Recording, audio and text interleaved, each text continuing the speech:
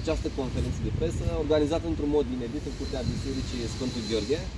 obiectiv pe care l-am reabilitat cu fonduri europene în exercițiul 2014-2020 și ieri am semnat recepția la finalizarea lucrărilor. Un obiectiv care a fost finanțat cu fonduri europene și care a plecat de, o, de la o valoare de 6,4 milioane de lei și a ajuns la 9,5 milioane de lei cu o contribuție proprie din uh, fonduri locale de 3,1 milioane de lei. Lucrările au fost uh, complexe, uh, s-au întins pe parcursul a câtorva ani, dar rezultatul